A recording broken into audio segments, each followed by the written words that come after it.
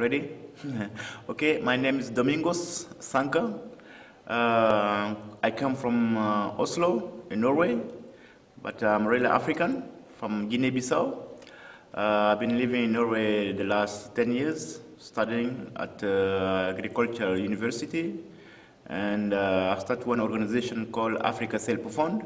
That is a humanitarian organization. We collect things that we help uh, street children in Africa. And now we are starting a center called uh, Eco Bujogo Center. It's going to be ecological center.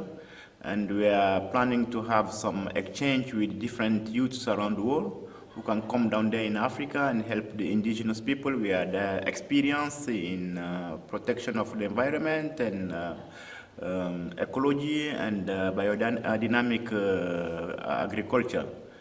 And I want everybody to be I hope that everybody can be in this, uh, in this concept because the only thing that can, uh, can, uh, can save the world in some way because now you see how the, the things are going on is not very, very well and people have to take consciousness, have this consciousness to start to produce their food that is good for their health and is what all is, is what I'm, uh, I'm trying to do in this position with my friends, you know.